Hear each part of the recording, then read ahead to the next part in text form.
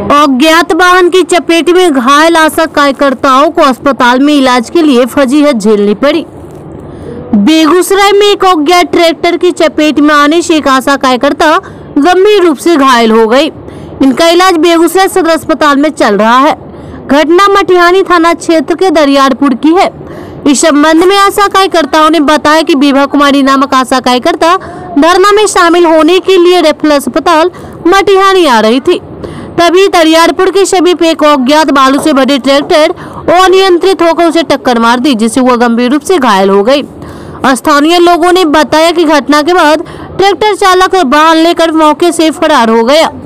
सूचना के बाद रेफरल अस्पताल मटिहानी में मौजूद आशा कार्यकर्ताओं के द्वारा एंबुलेंस लेकर दरियारपुर पहुँची एवं तुरंत उसे उठाकर रेफरल अस्पताल मटिहानी लाया गया, जहाँ स्थिति को काफ़ी गंभीर देखते हुए डॉक्टरों ने आशा कार्यकर्ताओं को अस्पताल बेगूसराय रेफर कर दिया।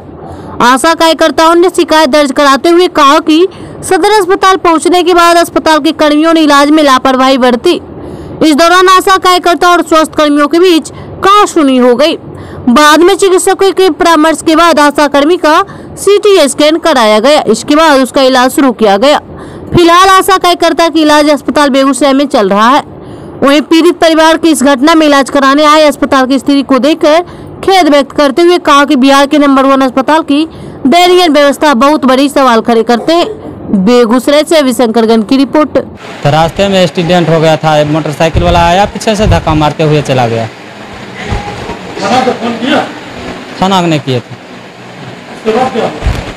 उसके बाद वहाँ से दूसरे आदमी टांग उंग कर लाए। तो वहीं बगल में ले गए थे। डॉक्टर था। वहाँ पर गए तो तीन गो सुई लगाया। उसको बाद बोला कि यहाँ से ले जाओ, बेगूसराय जाओ, भर्ती करवा दो। उसके बाद वहाँ से फिर आए मटिहानी। मटिहानी में फिर आशा लोग इनके सब साथी थे। तो वो लोग फिर यहाँ लेकर आए, वहाँ से रेफर कर दिए तो बेगूसराय लेकर आए। उसके बाद यहाँ पर आए तो यहाँ पर कोई करने के लिए तैयार ही नहीं हो रहा था कोई सुनिए नहीं रहा था। फिर ऐसा लोग सभी आई उसके बाद नरा उरा लगाई तब जाकर फिर फिर सी टी स्कैन करवाने के लिए जब ले गए तो वहाँ पर साढ़े सात सौ रुपया लिया तब सी टी स्कैन किए। और अभी तक देखने के लिए डॉक्टर नहीं आया है। जी अभी स्थिति पूरे गंभीर है।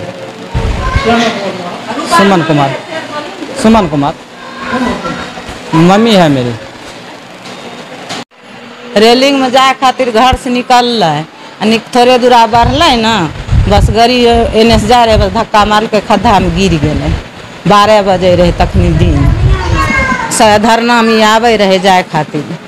बस थोड़े दूरा बढ़ले जे गाड़ी पकड़बै जेबै बस धक्का मारि देलकै बस खड्डा में गिर गेलै। कौन गाड़ी रहे धक्का मारे ट्रक वाला रहे। बालू वाला बालू वाला बालू वाला ट्रक पर रहे? हाँ। स्पीड में धक्का मारनी हो, भागले चलले गेले, ई फेंकाय गेले। दोसर औरत दूर से देखलक है ना, जे औरत आवे रहे गिर गेले हन वह औरत आके एकरा उठेलकै। आ उठेलकै, आ तब दरबर मारने घर अल कहल कि गिर गेलो आ धक्का मारि देलको साहब तब सब गोटा गेलै, तऽ उठा के नानलकै आ तब हियाँ आशा बहू फ़ोन केलकै, आशा बहू सब अयलखिन। आ तब ट्रक पर उठा अथी एंबुलेंस में उठा के मटिहानी ब्लॉक लेलखिन। ओहि जे ई ड्यूटी करै छै।